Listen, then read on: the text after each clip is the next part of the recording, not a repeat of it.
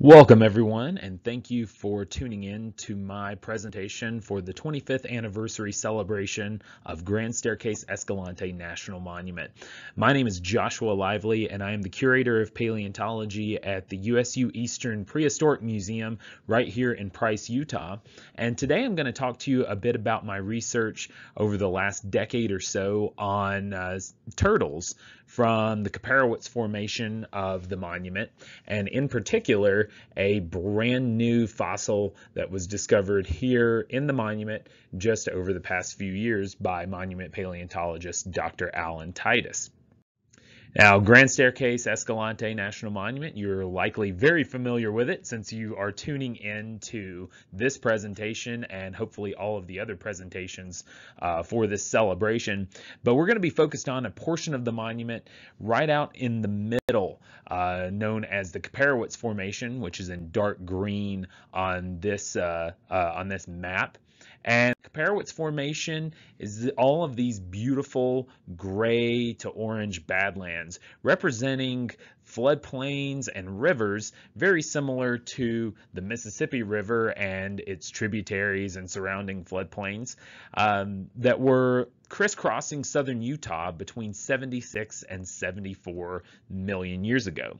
So even though it's a very dry environment today, it looked very different back during the Cretaceous. Uh, maybe even uh, something that was seasonally wet and dry, similar to the Amazon uh, River basin of today. And of course, the Kaiparowits Formation is well known for its abundance of dinosaurs. Uh, quite a few new species of dinosaurs uh, have been discovered in the Kaiparowits Formation uh, over the last couple of decades, and you'll hear about those in other presentations. But the Kaiparowits Formation preserves an entire ecosystem uh, that includes birds, crocodilians, uh, clams, all sorts of other uh, organisms. And the focus of my talk today uh, will be on the turtles. It turns out freshwater turtles are some of the most common fossils that you find in the Kaiparowits Formation alongside all of the dinosaur fossils. I would uh, estimate for every dinosaur we find, we find at least 10 turtle uh, turtle uh, fossils in uh, the Kaiparowits Formation out in the monument. And I'm going to give you a little bit of an introduction to the different turtles that are known from the monument. Uh, you will uh, hear about uh, turtles that have been worked on by other researchers, and then I'll spend a little bit of time talking about my own research and uh, the research of some of my collaborators. So just starting off going through some of the common turtle groups known from the monument, uh, some of these are going to be very familiar to you uh, because representatives of those groups are still around today. Uh, the chelydroids, the snapping turtles, are uh, known from the monument. Their shells are very small and thin. Uh, these aren't the big alligator snapping turtles of today, uh, but we do find fragments of snapping turtle shells in the Kaiparowits today. Uh, you also find mud turtles. Uh, you may uh, know the Kinosternids today as mud turtles or stinkpot turtles. Uh, we do find early representatives of them in the Kaiparowits Formation as well. And again, their shells are quite thin and uh, can be very fragile, so we don't find them quite as often as some of the larger turtles in the Kaiparowits Formation, um, but they are out there, and at least uh, one species has been named by Tyler Lyson and colleagues from the Denver Museum. Softshell turtles are some of the most abundant turtle fossils that are found in the monument. We have them, of course, today in uh, modern uh, river systems uh, really all around the world. Uh, and uh, we know of at least four different species from the Kaiparowits Formation. Um, some of these are more common than others, uh, and uh, there are at least two species uh, that have not been named yet from the Kaiparowits Formation. Now, those are the different groups of turtles, your snapping turtles, mud turtles, softshell turtles, that are going to look familiar to you. You've seen them in modern river systems if you live in areas uh, where turtles are abundant, particularly in the southeastern United States. Uh, but there are also representatives of extinct groups of turtles as well, known from the Kaiparowits Formation. Some of these are quite large. Uh, one of these is a turtle called Adocus. We have uh, a few shells of this turtle. Uh, uh these turtles can get well over two feet in length. Um, some some of them even closer to three feet in length. Uh, here's an example of myself and uh, Tyler Birthisel from the uh, Natural History Museum of Utah collecting one of these when I was a graduate student at the University of Texas. Uh, this was about a 200 pound jacket that we have strapped down to this uh, backboard carrying it out of the Kaiparowits Formation. But Adocus isn't the large turtle that we find in the Kaiparowits. Uh, that may belong to the turtle Basilemys. Um, over the last few years, in particular, the Denver Museum of Na Nature and Science has collected a number uh, of beautifully preserved Basilemys uh, skeletons. Um, some of them including uh, eggs uh, inside of the turtles, showing that they were pregnant females, uh, but also preserving uh, portions of the limbs, indicating that they had uh, bones in the skin covering their limbs, very similar to modern day tortoises. And in fact, Basilemys probably represented a turtle ecology very similar to modern day tortoises, mostly living on land. Whereas most of the other turtles you'll hear about today are living in uh, the river systems, ponds on the floodplain, that kind of thing. Mostly, uh, most of the turtles preserved in the Kaiparowits ecosystem uh, appear to be aquatic or semi-aquatic. Now, the focus of my master's project at the University of Utah uh, nearly a decade ago was on a group of turtles known as the Baenids. Uh, Baenid turtles were freshwater turtles, just like all the others preserved in the uh, Formation, uh, known from about 120 million years ago up to about 40 million years ago, known from the Cretaceous through the Eocene. So they, uh, the group actually survives the extinction that knocks out all the non-avian, non-bird dinosaurs. Uh, and uh, I was really interested in studying these because they are the most abundant and diverse uh, group of turtles in the late Cretaceous. So you can really learn a lot about the aquatic ecosystems, these freshwater ecosystems, by studying baenid turtles. Uh, also, they were mainly restricted to Western North America, a landmass known as Laramidia, isolated from eastern North America by a western interior seaway. So if you really want to get a handle on studying the ecosystem of uh, western North America during the late Cretaceous, this is actually a very uh, good group of turtles to study uh, because uh, places like the Kaiparowits Formation are just absolutely dirty with baenid uh, fossils. Uh, tons and tons of turtles have come out of uh, uh, the Kaiparowits and other formations across western North America um, from this group.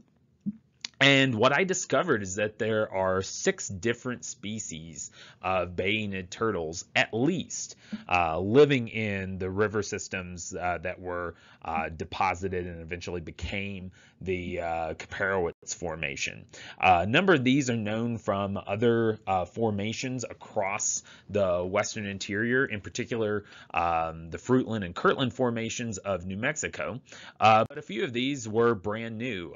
one of these new species that I got to name is called Neurankylus hutchisoni. Uh, is a genus of turtle uh, that uh, are quite large. Uh, some, some of them, uh, most of them could get up to about two feet in length, at least the length of their shell. if you include the tail and the head, would have been even longer. but uh, hutchinsoni is actually a, probably one of the largest turtles in this freshwater ecosystem, or at least we thought. I'll talk about a larger one here in a second. Um, but uh, this was uh, uh, this particular fossil at the University of California at Berkeley was discovered by Howard Hutchison, uh, and uh, the name of this taxon uh, honors his contributions to turtle research, both in the Kaiparowits Formation and beyond. this is a really neat fossil because it shows that this turtle had a a very highly domed shell, very similar to modern day tortoises. Um, and uh, we've actually found a few other examples of this since. There's at least one other uh, highly domed Neurankylus shell from the uh, uh Formation, indicating that this isn't just a one-off. Uh, but what I think is the most interesting turtle that I worked on for my master's is this animal called Arvinachelys. Uh, now, Arvinachelys has a beautifully preserved uh, skull along with the rest of the skeleton. And uh, we CT scanned uh, this animal at the University of uh, Utah at the um, small animal CT scanner up there, and was we were able to digitally prepare away all of the rock matrix inside of uh, this turtle's skull uh, to reveal a lot more about the anatomy.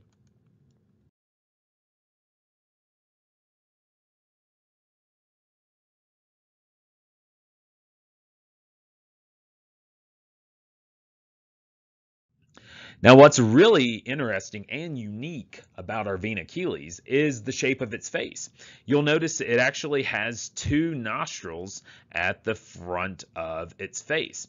This is very different than pretty much every other turtle in the evolutionary history of turtles, which only have one bony nostril in their skull, one external narial opening. So when you look at a turtle's face and you see two nostrils, that's really just a fleshy division between those nostrils. But Arvinachelys is unique because it has those uh, two bony nostrils, uh, which to me made it look uh, kind of like a pig's snout.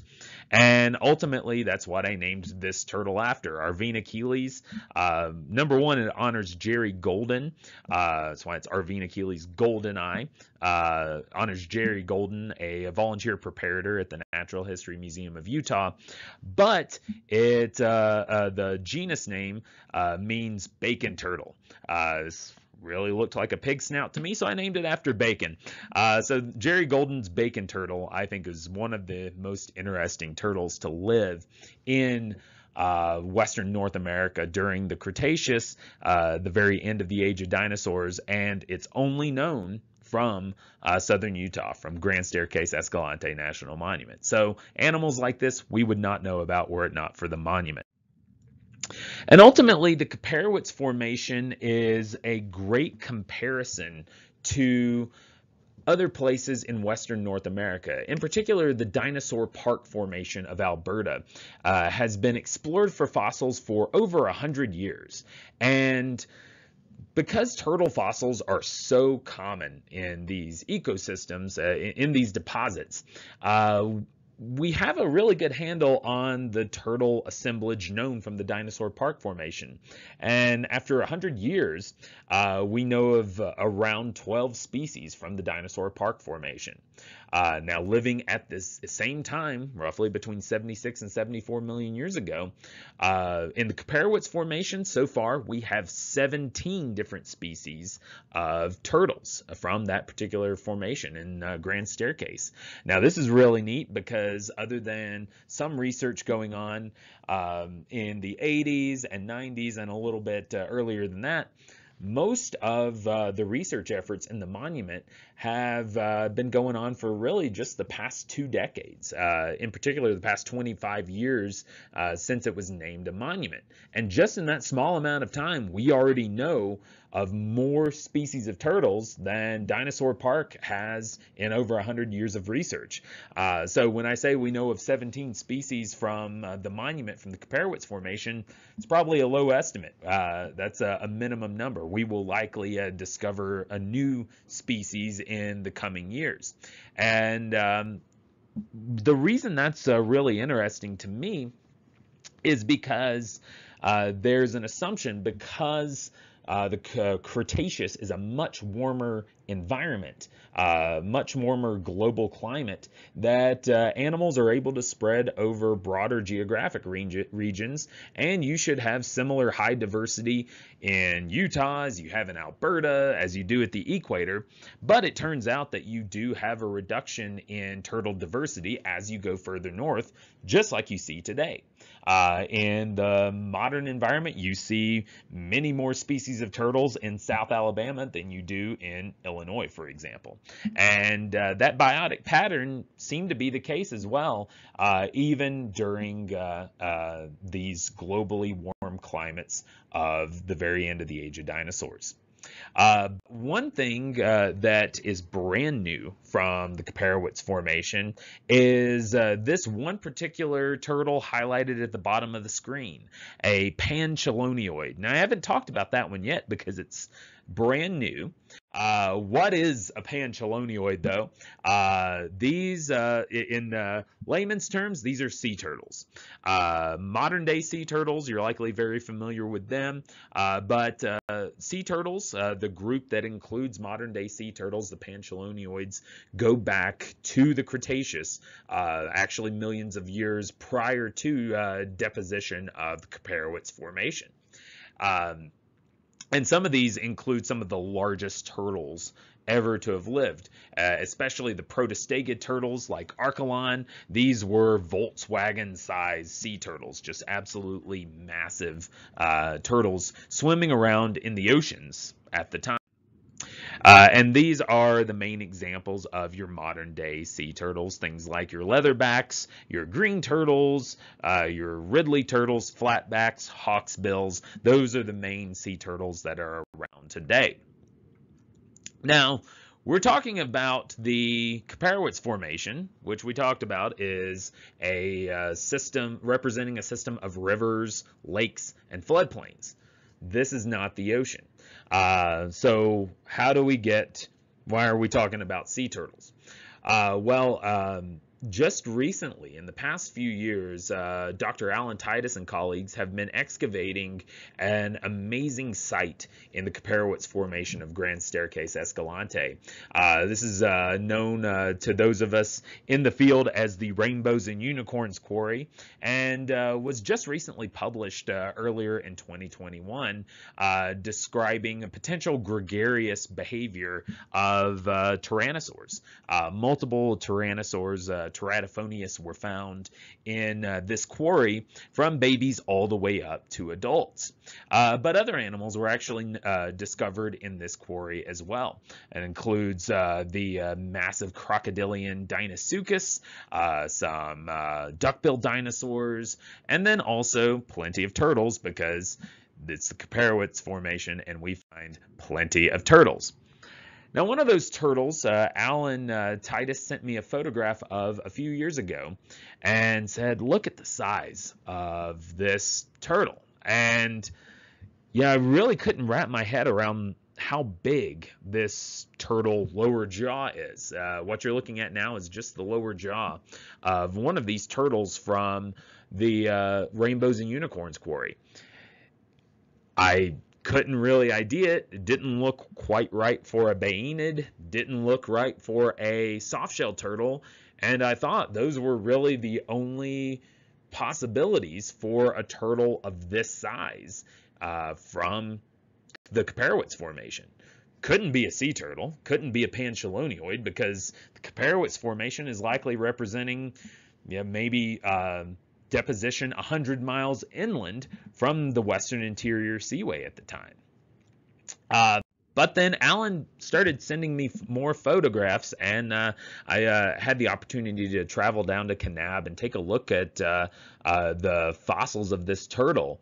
And sure enough, it it's a massive turtle, and it's not just uh, this one individual. Uh, so far, Alan has discovered two individuals. What uh, what you're looking at here on the screen is that lower jaw, as well as a uh, humerus, the upper arm bone, uh, the upper flipper bone, it turns out, and uh, and also the plastron, or the bottom of the shell of this turtle. And it turns out this uh, uh, the anatomy of this turtle doesn't it doesn't line up with any of those other groups of turtles that we've talked about so far. Uh, Alan also has this second individual of this same turtle uh, species uh, from uh, from the same quarry. So it's not just a one-off. We have uh, two individuals, and this second individual is actually much bigger, um, maybe uh, you know 50% larger than the first uh, the first turtle that was discovered from the uh, uh, from the quarry.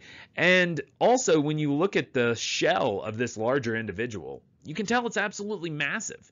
Uh, you can see uh, uh, me holding up uh, one of the bones of the, the shell of this uh, turtle, uh, and you can see just how thick it is. In fact, we're kind of questioning whether or not we've mistaken chunks of ceratopsian frill in the past for pieces of this really large turtle's shell. And uh, just recently, uh, uh, Dr. Titus has, uh, uh, and his team of volunteers, phenomenal group of uh, volunteers at the monument there in Kanab, have been preparing out more of the larger individual, including bones from uh, the periphery, the peripheral bones of the shell, as well as another large humerus, upper arm bone, and even uh, uh, the thigh bone, the femur of the larger of the two individuals. So we're getting multiple bones of uh, both the small individual and larger individual. And uh, uh, here's another example of one of these uh, bones. This is Alan's volunteer Nettie, who has been uh, uh, preparing a costal bone. Uh, these are the bones in the shell that fuse to the ribs. And Nettie's uh, costal here is 45 centimeters wide. Now, it's not at the widest part of the shell. The shell is already tapering by the sixth uh, costal, which is what I think this is. And if you double 45 because uh, uh, you have a costal on each side of uh, the shell, uh, and then add in uh, the peripheral bones and the neural bone in the center. Where the shell is starting to narrow down, this thing is over a meter wide. Uh, so this is a turtle shell that's over three feet wide where it's beginning to narrow. Uh, that's probably going to equate to a turtle shell that is over six feet long. That's a large freshwater turtle, uh, likely the largest freshwater turtle of the Cretaceous. And after spending some time uh, doing some preliminary work on both the larger and the smaller individual, it's very clear that this is, sure enough, a panchelonioid, a sea turtle living in a freshwater environment. And after spending a little bit of time on uh, my first day on my first uh, uh, uh, research trip to look at this animal in Kanab, I started, you know, getting deja vu. I said, this turtle looks very familiar to something that I've seen. Sure enough, I started comparing it with some quick cell phone photos I had taken of an animal called Terlinguachelys in the collections at the University of Texas, where I did my PhD. And here on the left side of the screen, you can see Alan's uh, sea turtle. On the right is the lower jaw, uh, the mandible of Terlinguachelys. Uh, very similar uh, when you start to compare uh, individual features of these uh, two turtles. The upper arm bone, the humerus, again, very similar. When you get down to the nitty gritty of the anatomy, uh, uh, those features I'm not going to go into in this talk, uh, they actually compare very well. So we think so far, at least uh, based on our preliminary work, that this uh, sea turtle is very similar to this animal called Terlinguachelys, uh, which was originally described in 2004. It's one of these protostegid sea turtles. It's one of these uh, uh, members of a group that gets very, very large. Um, and it's known from a similar aged formation, the Aguja Formation, uh, just outside of Big Bend, uh, Texas. Uh, this one is a little bit different though because it is from a marginal marine setting. Uh, so it's from a formation that has rivers and floodplains, but it's from a very distal part of that formation, uh, right where it meets the western interior seaway. Um, and since this animal has been described in 2004, it hasn't really been uh, included in a lot of other studies of uh, sea turtles. Uh, so this is uh, the the Aguja Formation from West Texas and showing uh, the stratigraphic section, the geology of uh, the area where uh, Terlingua was collected.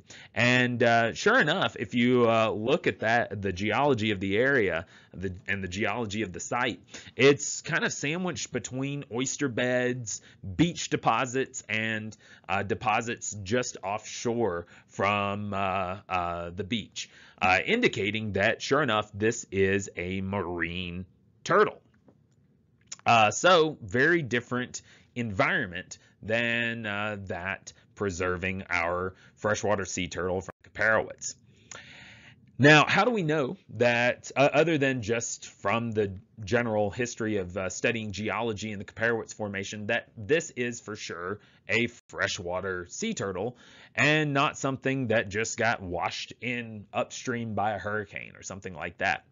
Um, thanks to uh, uh some of uh, Dr. Titus's colleagues, in particular Diego Yamamura and Celina Suarez, who have looked at the oxygen isotopes of the shells of uh, different turtles from the Rainbows and Unicorns quarry, we can see that uh, based on the oxygen isotopes that this Panchelonioid has a very similar isotopic signature to all the other turtles that are preserved in this quarry. Uh, in fact, based on uh, this isotopic signature, looking at the ratio of oxygen 18 to oxygen 16, it has a low delta O18 value, especially compared to uh, the oxygen isotope value of protostegids of sea turtles from what we know were marine environments. Uh, so in this example, uh, in this study from 2011, uh, Coulson et al., they sampled uh, sea turtle shells from both Kansas as well as Alabama. And you can see that these values, 17 and 20 respectively, are much higher than uh, uh, the value of 12 delta uh, 018 uh, that you see in our Kaiparowits uh. So what you get, you get higher values in marine environments versus terrestrial environments. And then once you get into uh, saltwater, uh, the delta O18 begins tracking temperature instead, which makes sense uh, because you have higher values in Alabama than you do in Kansas. Uh, so the big key takeaway uh, based not just on the geology of the site, but also the oxygen isotopes, is that the Kaiparowits protostegid was living in fresh water.